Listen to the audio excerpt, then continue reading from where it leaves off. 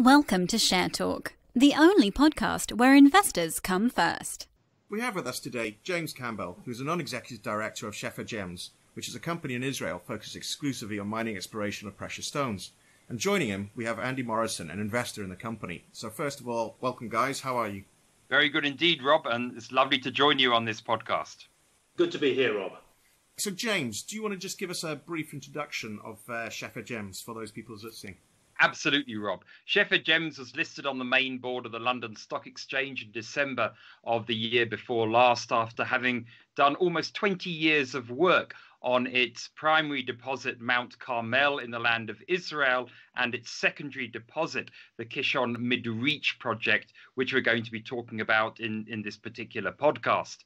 It has a mine to market strategy designed to commercialize this unique suite of gemstones, which includes diamond, moissanite, sapphire, ruby, and many more. And its target is to start commercial mining during the course of next year. Great. Now, Andy, I'm interested, uh, as you're an investor, the, the company completed an investor tour at the site of uh, Mount Carmel.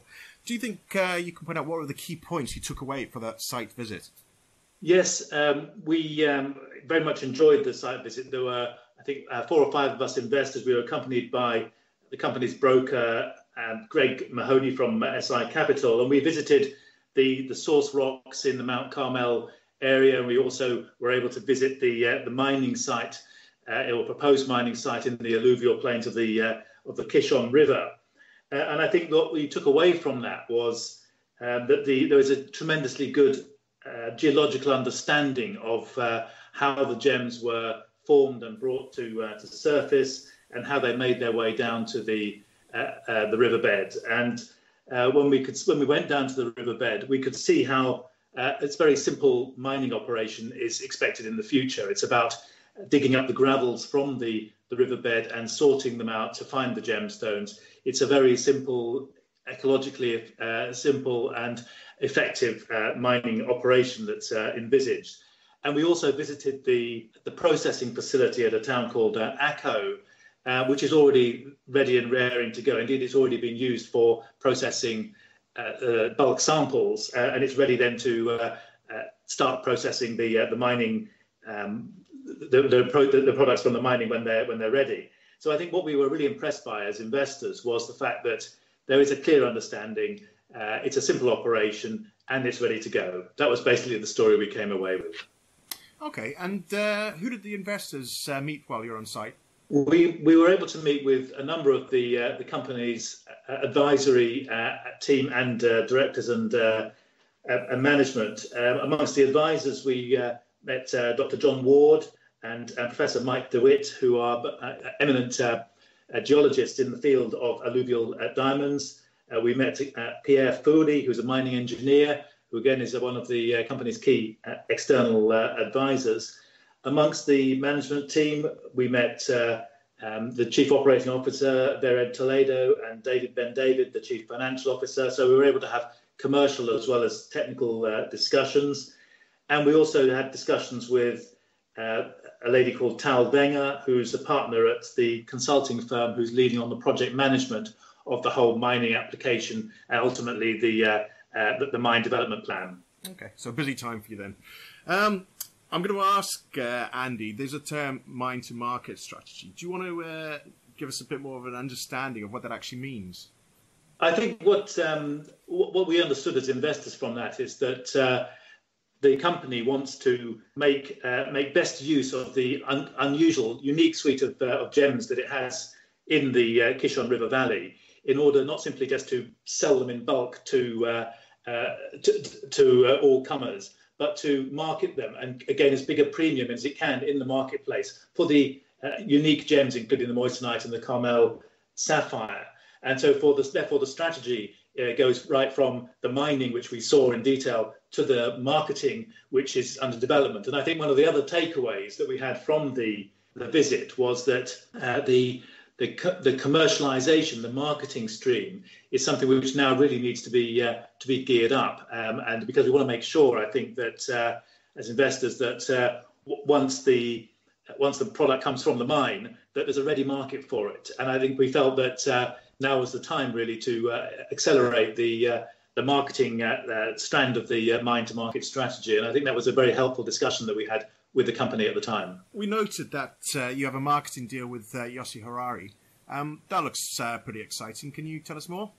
Yes, um, from the, what understanding I have is that a, a, a um, they designed a total of 31 uh, pieces which um, featured the uh, gemstones from the uh, the Kishon River Valley, from the uh, the mine, from the sampling that has been done, and they were they were made into very outstanding and unusual uh, jewelry, uh, which was showcased um, in the in Israel, but also in the in the United States. A number of those pieces have been sold. Indeed, the uh, the point of that exercise really was to to start to build the awareness of the um, the very unusual uh, gemstone suite, but also to establish uh, valuation for the the Carmel sapphire and the and the moissanite, uh, which were came out at the upper end of their ranges. I can't remember the exact numbers now, but the uh, uh, the the, uh, the the Yossi Harari collection has been something which has definitely begun to showcase the marketing and something which we can build on. But I don't think that we would necessarily expect to be only using Yossi Harari for the future. And uh, not to steal other questions in, Andy, uh, James, um, do you want to tell us what the next steps are for uh, Shefa Gems, uh, the near-term developments, uh, etc., and what uh, investors can expect from Shefa in the next quarter? Absolutely, Rob. There, there are four main work streams the company is working towards at the moment. the first and most important one is to actually achieve what they call in Israel a discovery certificate, which then paves the way for authorization of a mining license. Uh, this is the, the regulatory requirements in Israel and is absolutely key for us to progress the project.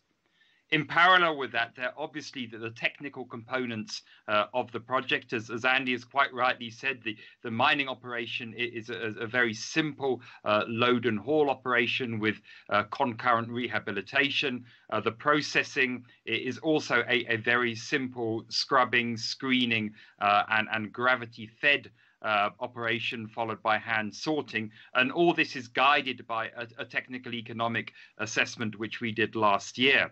There are two other very important work streams as well. Uh, the third one is the completion of uh, sampling in the Kishon Midreach Zone 2. Uh, zone 1 has been flagged for uh, trial mining commencing next year. In Zone 2 is immediately contiguous to Zone 1, which would allow us to possibly uh, double, if not more, uh, the life of mine. And then another point that Andy picked up on earlier was the marketing work stream. We have done some test marketing with Yossi Harari, uh, which characterized the unique suite of gemstones in, in a unique uh, design, uh, which looked very much like that the jewels came from the Holy Land, so maximizing on that. But we do need to start looking at other uh, marketing streams because there won't be one single channel. Uh, there'll be many channels. Uh, and maybe just a kind of a flag on the marketing side, seeing that maybe many of your listeners will be familiar with the diamond market and, and the diamond market not being so uh, well at the moment. Uh, prices in the lower end of goods have dropped something like 30%. Well, the colored diamond market has done very, very well indeed. And where we are with Shefa Gems, we uh, will be mining sapphire and, and ruby and other colored gems. And, and this market is in 2018, $22 billion and continuing to grow at a compound asset growth rate of over 5%. So we're certainly looking to exploit that and also exploit the uniqueness uh, of the location of these mineral suite. That's a big target to aim for. And uh, I'm going to thank you guys uh, for spending some time talking to us, um, giving us a good understanding of the company. And uh, what we'll do is obviously follow up with another podcast for our investors and delve more into the company. Uh, so uh, for the time that you spent today, thanks uh, once again for both of you. Thank you very much, Rob. Thanks a lot, then, Rob. Thank you for listening. Remember to visit our website for more news and other podcasts at www.share-talk.com.